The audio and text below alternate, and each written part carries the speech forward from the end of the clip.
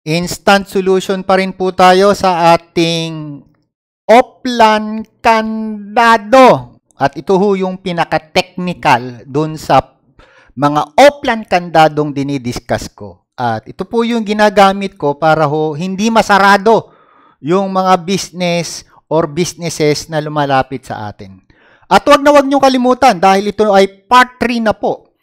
Napanoorin ho yung mga nagawa ko ng video at panoorin din po nyo yung mga susunod kong video kasi maaring pakinabangan ho ng ating bansa, ng ating mga anak, ng ating suppliers at ating buyer. So, kailangan nyong i-share sa kanila ito. Para ma-share nito at wag na wag nyong kalimutan, ang pag-share po ay nagsisimula sa click nyo lang ho yung like button. Yun lang ho yun.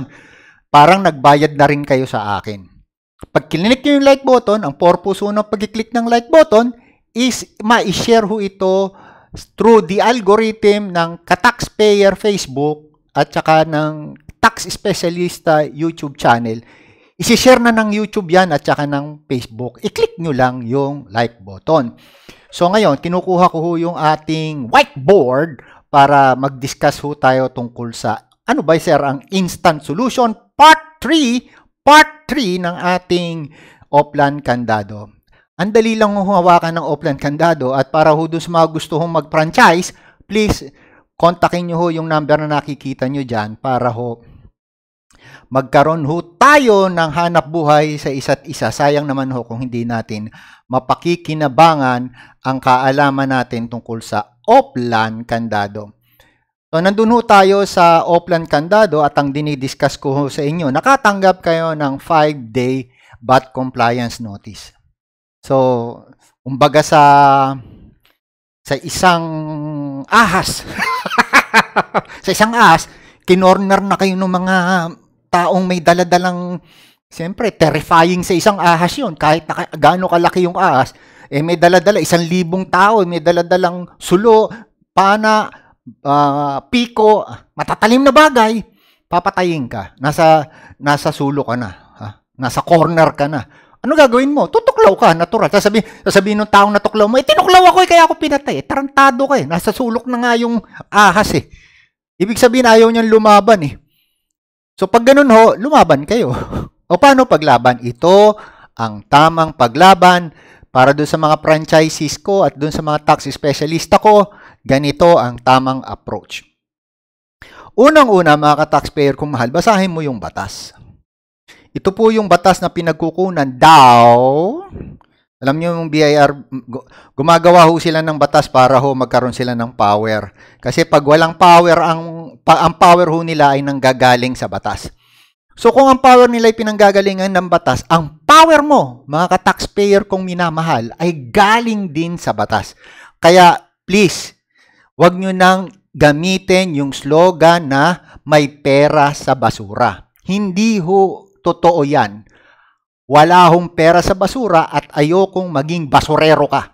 Ayokong maging basurero ka kasi ang pera, bago ka magkapera sa basura, kailangan mo maging basurero. Ang sinasabi ko, may pera sa batas. So, magiging as if matalinong matalino ka sa batas. Eh, ang ginagawa ko nga lang, eh, nangungopia ako ng batas. Eh. At anong batas ang kinokopya ko? Eh, yung ginawa ng BIR. Kinokopya ko yan. Ano ba ginawa ng BIR? Yun. Temporary closure. Eh, wala naman business na gusto magkaroon ng temporary closure. So, ang babasahin ko, paano ginagawa ang temporary closure? So, pag nabasa ko na yon, iisipin ko, paano hindi magkaroon ng temporary closure? Or, kung magkakaroon man ng temporary closure, hindi mapahiya.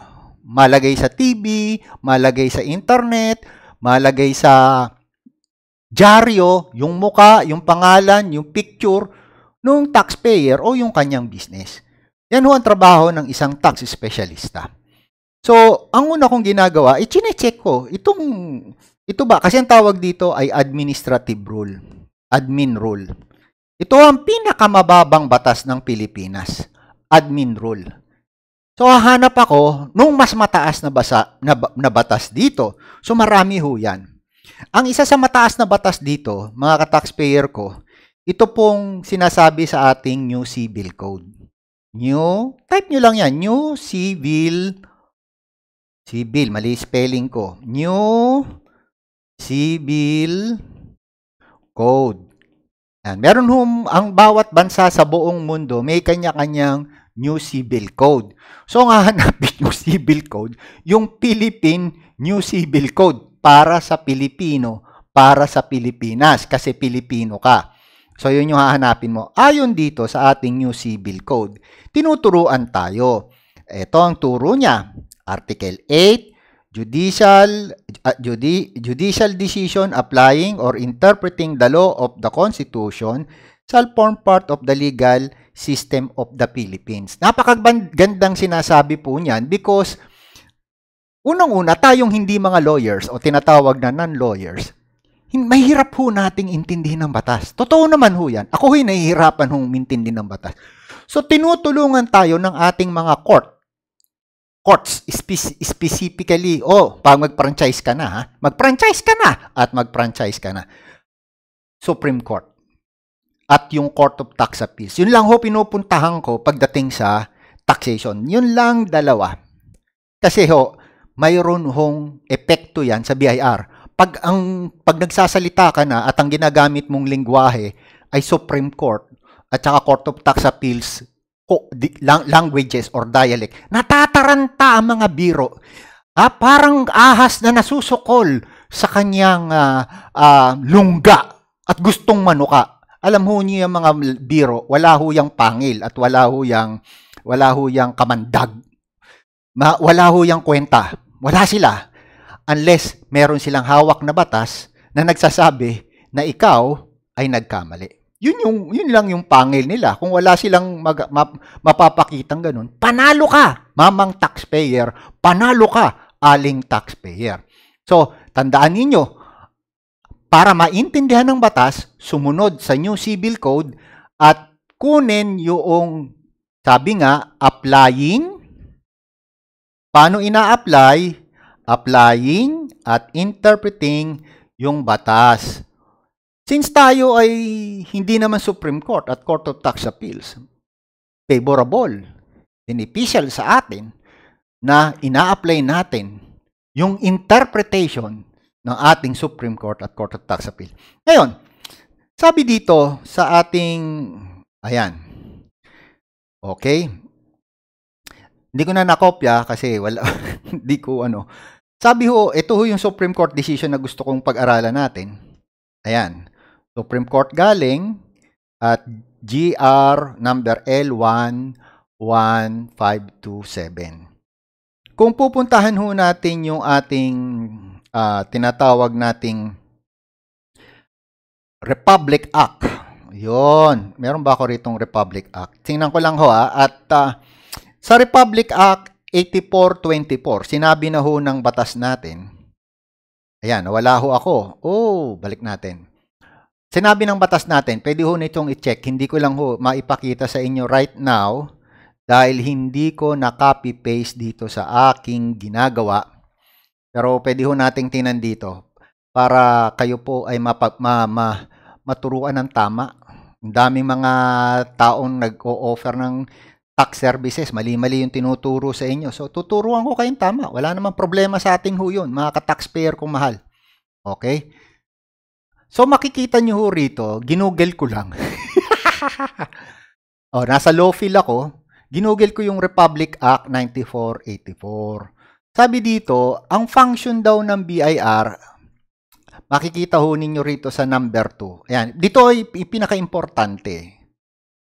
The Bureau of Internal Revenue, ayan daw, ang function niya is execution ng judgment of all cases divided ah, decided in favor of the by the Court of Tax Appeals and other court. Natural, mabilis sila, mat, mabilis nilang i-implement yan kasi favorable sa kanila. Isa ho sa sinasabi dito na impliedly, ibig sabihin ng impliedly, hindi nakasulat. Pero, kung ikaw ay matalinong tao, iisipin mo, kung favorable decision ay ine-execute ng BIR, eh di yung unfavorable decision, kailangan din nilang i-execute. Ganun ho dapat ang tingin. So, ang Supreme Court natin at saka ang ating Court of Tax Appeals, eh, nag, eh, nag-i-issue din yan ng unfavorable judgment sa mga court cases na pinafile ng BIR o ng taxpayer against the BIR. So kailangan kapag nanalo yung taxpayer, kailangan nilang i, i ano, i, i-execute.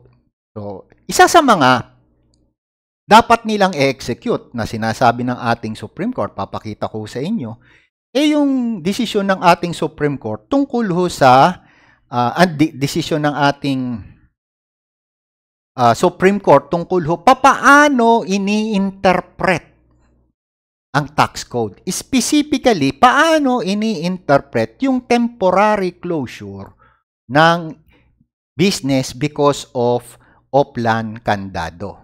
Yan yung gusto kong maintindihan ninyo. So sinabi ng Supreme Court dito, maliwanag na maliwanag dito sa kasong ito. Ang sabi niya rito, kapag may kaguluhan kung papaano ini-interpret ang batas. Ayun, sabi nga ng Supreme Court eh. Uh, kung may kaguluhan kung papaano ini-interpret ang batas. Sabing ganon. It is a well settled, eh, no?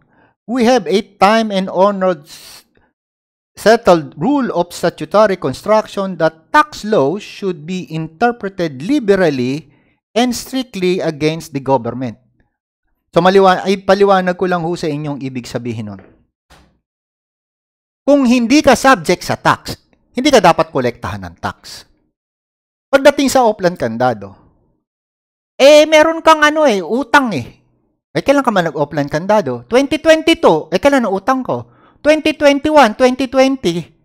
Eh, tarantado ka kalahati. Paano mo magagamit yung future doon sa history? Pwede mo bang mabago ang history na hindi ako subject sa tax? At yung na, na-discover mo ngayon ay gagamitin mo lang ngayong present at yung future. Yun ho ang ibig sabihin ng batas. So yung offline kandado, hindi pwedeng gamitin. Kung na-offline kandado kayo ng 2022, at sasabihin nila, base ah, sa, na, na-discover namin sa 2022, yon ay may utang ka sa 2020 at 2019. Eh, sira ulo mo. Paano yung may batas tayo na hindi pwedeng i-retroactive ang batas? Kasi yung sinasabi mo, mga bossing ko, i-ano ko nga ito, i- pakpakita ko sa inyo, nakasulat dito sa ating Republic Act, lalong-lalo na sa Section 256. Ayan, ay mali ako, 264 ata. Hanapin na natin. Retroactive. Okay, tatype ko lang naman yun. Retroactive. Ayun oh. So nag-rule ang BIR na may utang ka sa may utang ka sa 2020 at saka 2021 gamit ang kanilang offline kandado ng ginawa nila ng 2022. Under Section 246, eh, nakikita nyo, walang daya mga ka-taxpayer, hindi ho pwedeng magkaroon ng uh, retroactive ho yung assessment ng BIR. Lalong-lalo na is based sa presumption ang Oplan Kandado. Yun yung sinasabi ng batas natin. So, may mga, sabi ko nga, kailangang i-execute ng BIR yung mga favorable decision ng Court of Tax Appeals. Pero kailangan din nilang i-execute yung unfavorable decision ng ating Court of Tax Appeals. So, kailangan nating tingnan ano yung unfavorable decision ng ating Court of Tax Appeals. Maliwanag yung binabanggit dito, mga ka-taxpayer kong mahal. Hindi nyo nakikita kasi ini-scroll ko uh, lagay ko muna sa aking mukha. Huwag niyo kalimutang i-click ang like button at please i-click din niyo rin yung like button ng uh, tax tax specialista YouTube channel tax specialista YouTube channel at saka ng ka-taxpayer Facebook habang binibigyan niyo ako ng ilang pagkakataon para malaman ho ninyo yung option nyo number 3 pagdating sa sa inyong uh, sa inyong Oplan Kandado. So dito ho sa Oplan Candado, meron na hong court decision ho yan. Ito ho yung kokopyahin ninyo. Pwede ho nyong i-download yan sa Court of Tax Appeal website. So namaliwanag yung binabanggit dito sa uh, ito pa ho, teka lang, bago ko sabihin, ito ho yung ating uh, Oplan Candado process flow at ito po yung ito po yung i-discuss ko sa inyo. Marami-rami pa ho. Ayan, anak ko ho yun at aalis sila. Nagpapaalam sa akin, pupunta sila sa isang grocery. Ayan. So ngayon, ito ho yung um, Oplan Candado na, na nanalo ho yung taxpayer si Elrich. Ayan, si Elrich. So ano ho yung nangyari dito? Pag-aralan natin. So sabi dito, ito ho yung issue. Kung yun daw 48 hours at saka yung 5 day ay valid. Yun lang naman ang issue eh. At yung 48 hours and 5 days na merong 1.1 million na sinasabing utang yung taxpayer, eh dapat daw bang bayaran? So, ito naman BIR official naman, sabi nila, eh wala raw jurisdiction yung Court of Tax Appeals at uh, yung Section 113 daw ay appealab ay valid na i-apply sa taxpayer at yung 48 hours and 5 5 day uh, VAT compliance notice ay isa pong final assessment notice. E di check natin kung anong ibig ginawa ng court. Ibig ko sabihin, itong option number 3 ninyo, kailangan nyo pumunta ng court.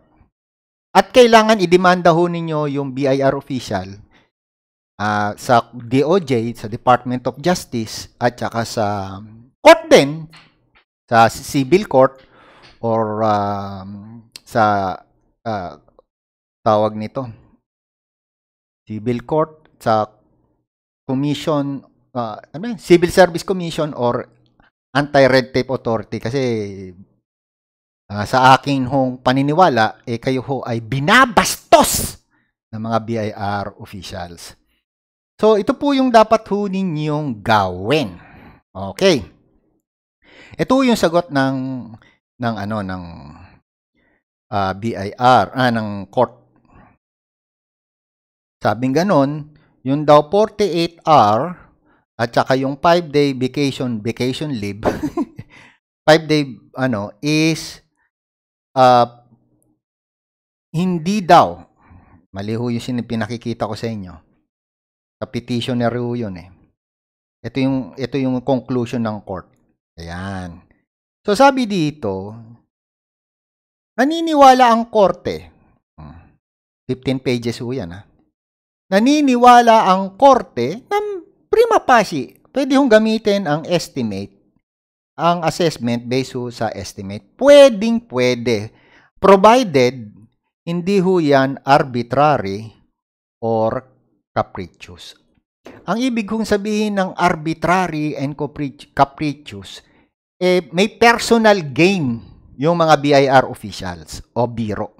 Or katarantaduhan, kalokohan at kayabangan ang pinanggalingan ng assessment. Uh, yun ho yung dapat ninyong i-establish. Ngayon, sabi ng court, tungkol sa 5-day bat notice at saka dyan sa um, 48R, wala daw legal basis. Unfortunately, with, ito sabing ganun eh, oh, Without such information, the sale amount used by the respondent cannot be considered as prima facie valid as they appear to have been arrived without any basis. Walang basis, sir eh. Yung nasabi ng court eh. So therefore, void. Hindi hindi magbabayad yung uh, taxpayer na na-oplan, uh, sinubject sa oplan kandado activities noong uh, assessment. Yung hindi daw assessment eh, di hindi siya dapat bayaran. Wala daw explanation. Oh, di ba? Walang explanation na ibinigay. Para magkaroon ng valid reputation, refute, refutations, yung taxpayer. Yun ho yung nangyari. So, hindi ho valid ang 48-hour notice at ang 5-day. So, dapat ito, without court going to the Court of Tax Appeals, dapat nire-respect to ng BIR eh. Kasi this is our legal doctrine. At yung RMO 3-2009, void yun from the very beginning. Void yun from the very beginning. Because, andi dito na yung decision eh. Oh.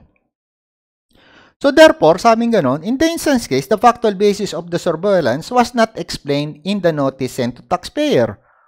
Oh, em, e, iisa lang, pinakita ko na sa inyo kung ano itsura nung ano eh nung 5-day notice eh. Walang walang explanation yun, sir eh. Hindi pa naman nagbago yung ano eh, yung itsura ng 5-day notice. Wala pa. So kung ano yung nireklamo nitong taxpayer na to sa Court of Tax Appeals, kung ano yung ginamit na evidence, eh yun din naman yung evidence ngayon. Eh. Therefore, kung sinabi ng Court of Tax Appeal na yung evidence na yun ay void, void pa rin hanggang ngayon. Hindi magbabago yun. Hindi magbabago. Huwag nyo kalimutan mag-franchise ha, at mag-click ng like. Now, So, kung meron kang ano, kung meron kang problem, sabing ganon, eh, sinasabi, nag, nagpa-fluctuate yung business eh. Nagpa-fluctuate. Hindi yan pwedeng yung business ko nung 2022 eh similar sa business ko nung 2021, 2020. Eh, may pandemic yun. Niloloko mo ko eh. 'Di ba? Sinabi na ng court dito eh, hindi pwedeng pare-parehas. May business dynamics. Ayan. So kung gusto mong ituloy yung business, ito yung option number 3. Itutuloy ko, pero pupunta ako ng court.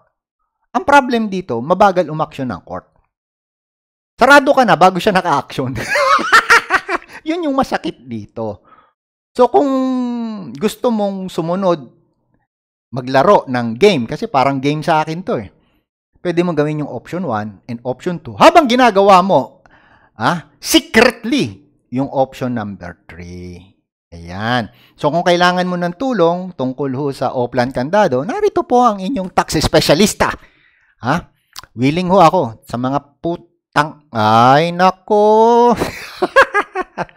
Walang hiyang gumagamit ng mga batas na sinabi na nga ng Court of Tax Appeals na illegal. Sinabi na eh, ba't nyo pa ginagamit? Pwede ba kausapin ninyo kung mga biro? Pwede bang magpadala, mag-comment kayo sa aking YouTube channel, mag-comment kayo sa aking Facebook account, ka-taxpayer, or tax specialista YouTube channel. Bakit? Binabastos ninyo yung batas natin. Meron ng batas sa Court of Tax Appeals na bawal gamitin yung mga ebidensya na yan. Bakit hanggang ngayon ginagamit nyo pa? So sa mga hindi pa ho nagla-like, paki-like na ho. Thank you very much sa pagla-like ninyo ngayon. At sa mga tao hong nangangailangan ng ating suporta, lalo na sa ating letter of authority, alam nyo ho, medyo may kamahalan si tax specialista. Mahal ho ang professional pico. Okay? Pero, kung mag, magne-negosyo ko sa pamamagitan ninyo, ipapranchise ko kayo, o edi maningil kayo ng 50,000. Okay? Ang akin lang doon 10,000. Sa inyo na yung 40. Kaya lang magbabayad kayo sa akin ng franchise fee initial. So ibibigay ko sa inyo lahat ng ginagamit kong templates at gagawa ho ako ng mga YouTube uh, video para masundan nyo. Katulad ho ng ginagawa natin sa Oplan Candado. Gagawa ho tayo niyan sa letter of authority, checklist of requirements, first notice, second notice, hanggang subpoena. I-guide ko ho kayo, i-guide ho ninyo yung mga kliyente ninyo. Okay? So, ito ho ay subject sa terms and condition because meron ho tayong contract. Huwag kalimutan, panoorin ho na ninyo yung mga previous videos ko na nasa YouTube at saka Facebook. I-text nyo ho ako, nandiyan ho yung mga numbers ko. At panood, patuloy ho ninyong magba, patuloy ho ninyong suportahan ang sarili ninyo sa pamamagitan ng pagbabasa ng ating mga jurisprudence. With that, mga ka-taxpayer kumahal, peace and happiness be with you for life. See you later.